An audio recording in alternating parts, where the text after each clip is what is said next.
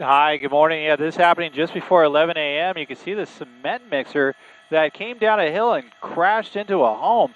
Now, fortunately, we're not hearing about any injuries or whether anybody was in the in the home here. But uh, wow, it is what a crazy scene here.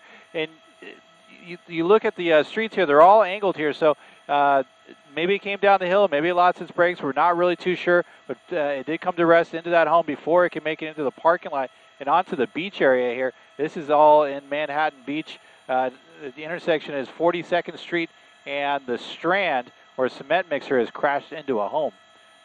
That's latest from up here in Sky 5. I'll send it back to you.